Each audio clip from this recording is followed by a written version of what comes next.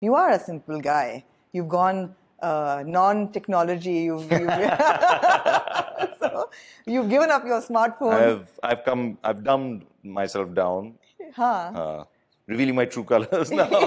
so you. I'm a very dumb person, a very simple person. That I way. really doubt that, but I think you did the smart thing. It's I think for me is a, is a good detox because um, जितना active मैं नहीं हूँ like how जितना मैं inactive हूँ उसकी वजह से um, I think I've just spent a lot of useless time um, just going through this this whole new thing called YouTube Shorts, hmm. and I would spend hours and hours.